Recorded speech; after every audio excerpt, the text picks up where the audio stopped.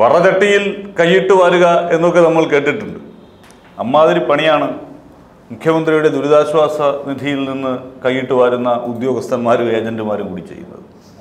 ശരിക്കും പറഞ്ഞാൽ മുഖ്യമന്ത്രിയുടെ ദുരിതാശ്വാസ നിധി പ്രധാനമന്ത്രിയുടെ ദുരിതാശ്വാസ നിധി എന്നൊക്കെ പറയുന്നത് അശരണായരായ മനുഷ്യർക്ക് അവർക്ക് ഒരു വലിയ അത്യാവശ്യം വരുമ്പോൾ ഒരു രോഗാവസ്ഥയിലാകുമ്പോൾ അല്ലെങ്കിൽ ഒരു പ്രകൃതിക്ഷോഭം ഉണ്ടാകുമ്പോഴൊക്കെ ഒരു അടിയന്തര ധനസഹായം എന്നുള്ള നിലയിൽ നൽകുന്നതിന് വേണ്ടിയിട്ടുള്ളതാണ്. അതുകൊണ്ട് തന്നെയാണ് അതിനകത്തേക്ക് ആളുകൾ കൈയച്ച് സംഭാവനയൊക്കെ നൽകുന്നത്.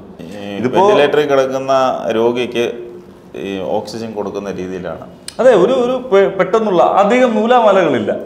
അപേക്ഷ നൽകിയാൽ ഒരു ഒരാൾ ഒരു രോഗിയാണ് എന്നുള്ള ഒരു സർട്ടിഫിക്കറ്റ് ഉണ്ടെങ്കിൽ വരുമാനം ഈ പറയുന്ന മാനദണ്ഡങ്ങൾക്കനുസരിച്ചാണെങ്കിൽ അത് കളക്ടറേറ്റുകളിൽ നിന്ന് അപ്പോൾ തന്നെ നൽകുന്നു താലൂക്ക് ഓഫീസിലും വില്ലേജ് ഓഫീസിലും ഒക്കെ ഉള്ള ചെറിയ പരിശോധനകൾ മാത്രം മതി. നൂലമാലകളില്ല. അതിനെ മുതലെടുക്കുകയാണ് അതെ. അതിന്റെ അതിന്റെ ഒരു ഇമ്പാക്ട് എങ്ങനെ ഉണ്ടാവുന്നത് മുഖ്യമന്ത്രിയുടെ ദുരിതാശ്വാസ നിധിയിൽ തട്ടിപ്പ്. അതിനും പിണറായി പിണറായി വിജയൻ ആരൊക്കെ എടുത്തു കൊടുക്കുന്നു എന്നുള്ള മട്ടിൽ. അതിപ്പോ ഉമ്മൻചാണ്ടിയാണ് ഭരിച്ചിരുന്നതെങ്കിൽ ഉമ്മൻചാണ്ടി എടുത്തു കൊടുക്കുന്നു. ഇത് പേരുദോഷം ഉണ്ടാക്കുകയാണ് സർക്കാരിന്. മുഖ്യമന്ത്രിക്ക് പേരുദോഷം ഉണ്ടാക്കുകയാണ്. അവരറിഞ്ഞിട്ട് പോലുമില്ല. പതിനായിരം രൂപയും ഇരുപത്തയ്യായിരം രൂപയും ഒക്കെ കളക്ടറേറ്റിൽ നിന്ന് കൊടുക്കാം. അതിനെയാണ് മൂന്ന് ലക്ഷം രൂപ ഏതോ ഒരു എറണാകുളത്തെ ഏറ്റവും വലിയ ധനികന്റെ അതെ അതെ അത് ഇവർ ചെയ്യുന്നതാണ്. ഈ ഇങ്ങോട്ടേക്ക് ഇപ്പൊ മുഖ്യമന്ത്രിയുടെ ഓഫീസിൽ നിന്ന് മുഖ്യമന്ത്രി എങ്ങനെയാണ് ഒരു ദുരിതാശ്വാസ രാവിലെ മുഖ്യമന്ത്രി അന്വേഷിച്ചിട്ടാണോ? രാവിലെ മുഖ്യമന്ത്രി അന്വേഷിച്ചിട്ടല്ല ഈ പറയുന്ന ഉദ്യോഗസ്ഥർ. ഇത് നടപ്പിലാക്കേണ്ടുന്ന നോഡൽ ഓഫീസർമാർ എന്ന റോളിലുള്ള ആളുകളുണ്ട് കളക്ടറേറ്റിൽ അവർ അന്വേഷിക്കുന്നു വില്ലേജ് ഓഫീസർ അന്വേഷിക്കുന്നു റിപ്പോർട്ട് കൊടുക്കുന്നു. ആ റിപ്പോർട്ടിന്റെ അടിസ്ഥാനത്തിൽ ഇവിടെ അപ്പോൾ എന്തായാലും പിണറായി വിജയന് രാവിലെ എണീറ്റ് വിളിച്ച് ഹലോ മറ്റേ കാട്ടുംപുറത്തുള്ള മുരളിയുടെ വീടല്ലേ മുരളി? നിങ്ങൾക്ക് ഇങ്ങനെയൊക്കെയാണോ? എന്നാൽ എന്റെ ഒരാൾ അവിടെ വരുന്നുണ്ട് അന്വേഷിക്കാൻ. അതൊന്നും പറ്റില്ല. നമ്മുടെ ഒരു സംവിധാനം എന്ന് പറയുന്നത് അങ്ങനെയാണ്. മേൽത്തട്ടിൽ നിന്ന് താഴെത്തട്ടിലേക്ക് കൃത്യമായിട്ടുള്ള അന്വേഷണം നടന്ന് ആ റിപ്പോർട്ടിന്റെ അടിസ്ഥാനത്തിലാണ് ഇത് ചെയ്യുന്നത്. അത് ക്രോസ് വെരിഫിക്കേഷൻ ചെയ്യുക എന്ന് പറയുന്നത് സാധ്യമല്ല. അത് എപ്പോഴും നടക്കില്ല. കാരണം ഈ നമ്മൾ വിശ്വസിക്കുന്നത് സിസ്റ്റത്തെയാണ്. ആ സിസ്റ്റം ഇങ്ങനെ ആയിക്കഴിഞ്ഞാൽ എന്ത് ചെയ്യാൻ പറ്റും? ഇപ്പോൾ മുഖ്യമന്ത്രി ആദ്യമേ തന്നെ പറഞ്ഞു ഓരോ ഫയലിലും ഓരോ ജീവിതമാണ് എന്നുള്ളതാണ്. ഇതിപ്പോ ഏജന്റുമാരുടെ ജീവിതമാണ്. അതെ.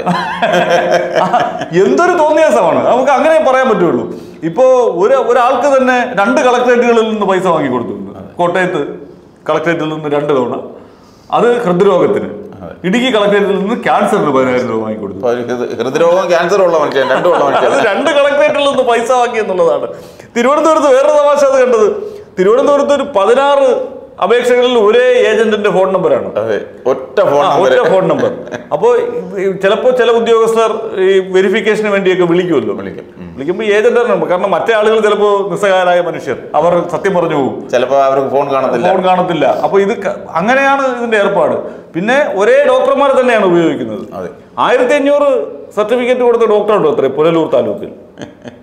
കൊല്ലത്ത് ഇരുപത് അപേക്ഷ വന്നപ്പോൾ പതിമൂന്നെണ്ണവും ഒരേ ഡോക്ടർ ഒരു ഡോക്ടർ തന്നെ. നമ്മളത് കാണേണ്ടുന്ന കാര്യം പിണറായി വിജയനെ കുറ്റപ്പെടുത്താൻ ഈ ഒരു അവസരത്തെ വിനിയോഗിക്കുന്ന ചുരുക്കം ചിലരെങ്കിലും സമൂഹ മാധ്യമങ്ങളിൽ കണ്ടു.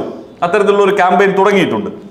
മുഖ്യമന്ത്രി പിണറായി വിജയൻ പറഞ്ഞിട്ടാണ് operation C M D R F എന്ന് പറയുന്ന ഈ റെയ്ഡ് കളക്ടറേറ്റുകളിൽ നടന്നത്. നടത്തുന്നത് ഈ ചില പരാതികൾ വിജിലൻസിന് ലഭിച്ച ചില പരാതികളുണ്ട് മുഖ്യമന്ത്രിയുടെ ഓഫീസിന് ലഭിച്ച പരാതികളുണ്ട്. അതിന്റെ അടിസ്ഥാനത്തിൽ മുഖ്യമന്ത്രി തന്നെയാണ് എന്റെ പേരിലുള്ള ദുരിതാശ്വാസ നിധി അതിൽ തട്ടിപ്പ് നടക്കുന്നുണ്ടെങ്കിൽ അവന്മാരെ പിടിക്കപ്പെടണം എന്ന് പറഞ്ഞ് ഓർഡർ ഇട്ടത്.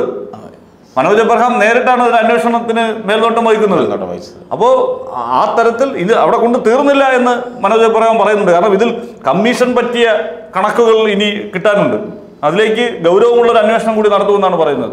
അപ്പോൾ വിജിലൻസ് അന്വേഷിച്ചത് മുഖ്യമന്ത്രി തന്നെ പറഞ്ഞിട്ടാണ്. അദ്ദേഹത്തിന്റെ കീഴിലുള്ള വിജിലൻസ് വകുപ്പ് അന്വേഷിക്കുന്നത്. അത് നമ്മുടെ നമ്മുടെ ഈ പറയുന്ന ആ മാധ്യമ പ്രവർത്തകരൊന്നും കണ്ടുപിടിച്ചതല്ല. ഇത് വിജിലൻസ് നമ്മുടെ പോലീസ് സംവിധാനം തന്നെ വളരെ കൃത്യമായി കണ്ടുപിടിച്ച് കണ്ടെത്തി അവർക്ക് സംശയം തോന്നി മുഖ്യമന്ത്രിയുടെ അനുമതിയോടുകൂടി നടത്തിയ ഒരു റെയ്ഡാണ്. ഒരു മാധ്യമ പ്രവർത്തകരും ഇങ്ങനെ ഒരു വാർത്ത റിപ്പോർട്ട് ചെയ്തിട്ടില്ല. ഇതുവരെ റിപ്പോർട്ട് ചെയ്തിട്ടില്ല. നമ്മൾ എന്തെല്ലാം അന്വേഷണാത്മക പത്രപ്രവർത്തനം നടത്തുന്നു?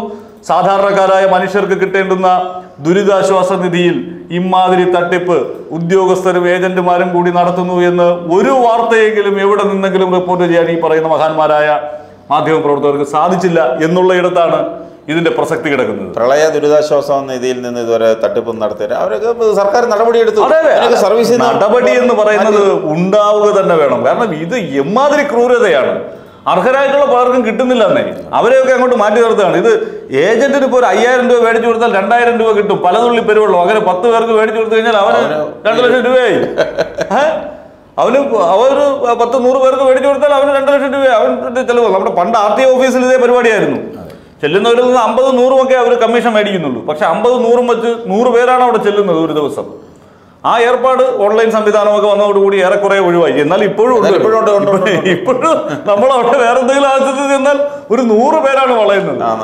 അവരിപ്പോഴും ഈ ഉദ്യോഗസ്ഥന്മാരെ വെച്ചിട്ട് ഈ ഓൺലൈനൊക്കെ ഉണ്ടെങ്കിൽ പോലും എല്ലാവരും ഓൺലൈൻ ഒന്നും ഉപയോഗിക്കാൻ. പര്യാപ്തരായിട്ടുള്ള മനുഷ്യരല്ല.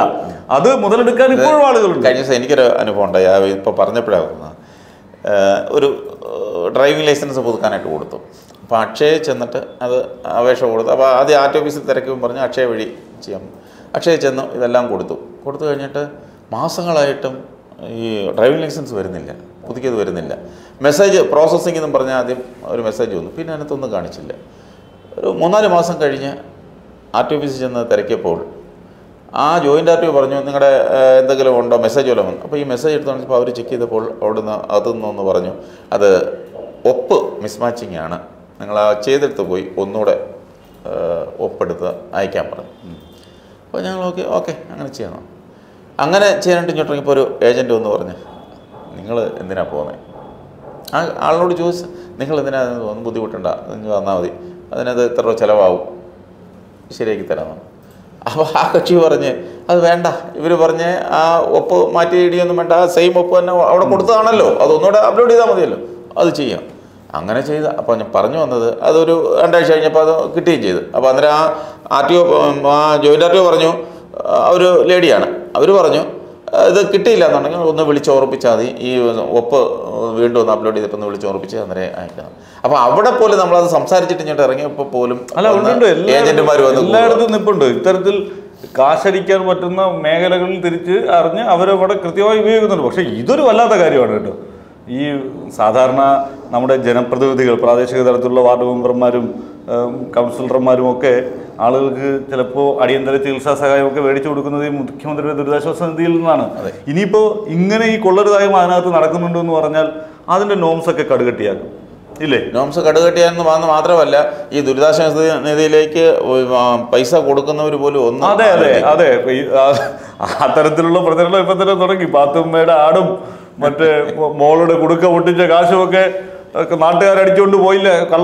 അടിച്ചുകൊണ്ട് പോയില്ലേ എന്നുള്ളൊരു ചോദ്യം ഉയരുന്നുണ്ട്. അങ്ങനെയൊക്കെ പറയിപ്പിക്കാനുള്ള ഒരു അവസരമാക്കി അതിനെ മാറ്റിയാൽ. ഇത് സത്യം പറഞ്ഞാൽ ഇതിന് കൂടുതൽ സുതാര്യതയുണ്ട് എളുപ്പം നടക്കുന്ന ഒരു കാര്യമാണ് എന്നുള്ളതിനെയാണ് ഈ തട്ടിപ്പുകാർ മുതലെടുക്കാൻ ശ്രമിച്ചത്. ആ ഉദ്യോഗസ്ഥർ ഒരിക്കലും അത് ചെയ്യാൻ പാടില്ല. സർക്കാർ ശമ്പളവും വാങ്ങിച്ചുകൊണ്ട് അവിടെ ഇരുന്നിട്ട് ഈ ഈ തരത്തിൽ ആളുകളൊക്കെ കൂടി സംഭാവന നൽകിയിരിക്കുന്ന മുഖ്യമന്ത്രിയുടെ പേരിലുള്ള ഒരു ഫണ്ടിനെ ഇത്തരത്തിൽ കമ്മീഷൻ അടിക്കാൻ വേണ്ടിയുള്ള ഒരു അവസരമാക്കി മാറ്റിയെന്ന് പറഞ്ഞാൽ അവർ സർവീസിൽ തുടരാൻ പാടില്ല. അങ്ങനെയാണ് ചെയ്യേണ്ടത്. കണ്ടെത്തി കഴിഞ്ഞാൽ ഇപ്പൊ വിജിലൻസിന്റെ അന്വേഷണം പൂർത്തിയായി കഴിഞ്ഞാൽ പിന്നെ കണ്ണുമടച്ച് പുറത്താക്കണം. പോലീസുകാരെ പുറത്താക്കിയല്ലോ. അതെ ഇപ്പൊ വീണ്ടും ഏഴ് പേരുടെ പേരിൽ അവരെ പുറത്താക്കുന്ന നാല് ആരംഭിച്ചു മൂന്ന് സർക്കിൾമാര് രണ്ട് എസ് ഐമാര് അല്ല ഈ പറയുന്നതേ ഇവർ എത്ര യൂണിയൻകാരനായാലും എത്ര അസോസിയേഷൻകാരനായാലും എത്ര സംഘകാരനായാലും ഒരു പൊളിറ്റിക്കൽ പ്രഷറിനും നിന്ന് കൊടുക്കാതെ കൈയോടെ തൂക്കിയെടുത്ത് വെളിയിൽ കളയണം അല്ല അത് ഇത് ചെറിയ കാര്യമല്ലെന്നേ. ഒരു നമ്മളൊരു ഒരു മനുഷ്യന്റെ ഒരു സേവനത്തിന് കൈക്കൂലി വാങ്ങിക്കുന്നതിനേക്കാൾ ക്രൂരമായ നടപടിയാണ്. അതെ. കാരണം പാവപ്പെട്ടവന് അവനൊരു അസുഖമായ ആശുപത്രി കിടക്കുമ്പോൾ അവന് പെട്ടെന്ന് മരുന്ന് മേടിക്കാൻ കിട്ടുന്ന ഒരു ആശ്വാസമാണ് ഈ പതിനായിരം രൂപ എന്നൊക്കെ പറയുന്നത്. അത് പൈസ പിന്നെ ശരിക്കും ആളുകൾ സംഭാവന നൽകി സ്വരൂപിച്ചു വച്ചിരിക്കുന്ന ഒരു ഫണ്ടിൽ നിന്ന് ഈ പറയുന്ന ഉദ്യോഗസ്ഥന്റെ മറ്റേ ഭാര്യ വീട്ടിൽ നിന്ന് കിട്ടിയ സ്ത്രീധന തുക പോലെ എടുത്ത് കമ്മീഷൻ അടിക്കാൻ കൊടുത്തു കഴിഞ്ഞാൽ ജോലിയിൽ തുടരാൻ പാടില്ല. അങ്ങനെയുള്ള ആളുകളെ കണ്ടെത്തി കണിശമായി പുറത്താക്കാനുള്ള ഒരു ആർജവം മുഖ്യമന്ത്രി കാണിക്കണം. പിണറായി സർക്കാർ അധികാരത്തിൽ വന്നതിന് ശേഷം തൊഴിലാളി സംഘടനകളെ പ്രത്യേകിച്ച് സി ഐ ടി അവരുടെ പാർട്ടിയായ സി പി എമ്മിന്റെ തൊഴിലാളി സംഘടനയായ സി ഐ ടിയുനെ പോലും അവർ ഈ ചോട്ടുതൊഴിലാളികളെയൊക്കെ വരച്ച വരയിലാണ് നിർത്തിയത്. ഇപ്പം നോക്കൂലിയും അതൊന്നും ഇല്ലല്ലോ ഇപ്പം. അതെല്ലാം നിർത്തി. അപ്പം അങ്ങനെയുള്ള വിപ്ലവകരമായ തീരുമാനങ്ങൾ എടുക്കുകയും അത് നടപ്പിലാക്കുകയും ചെയ്ത സർക്കാരാണ് പിണറായി സർക്കാർ. ഉദ്യോഗസ്ഥരെയും നിലയ്ക്ക് നിർത്തണം. അവരിൽ ഇപ്പം പോലീസുകാരെ പിരിച്ചുവിടുന്നില്ലേ? നല്ല കാര്യമാണ്. ഊക്കിയെടുത്ത് വെളിയിൽ കളയണം റവന്യൂ വകുപ്പിൽ എത്ര കേമന്മാരായാലും ആ ഒരു നിലപാടാണ് സർക്കാർ സ്വീകരിക്കേണ്ടത്.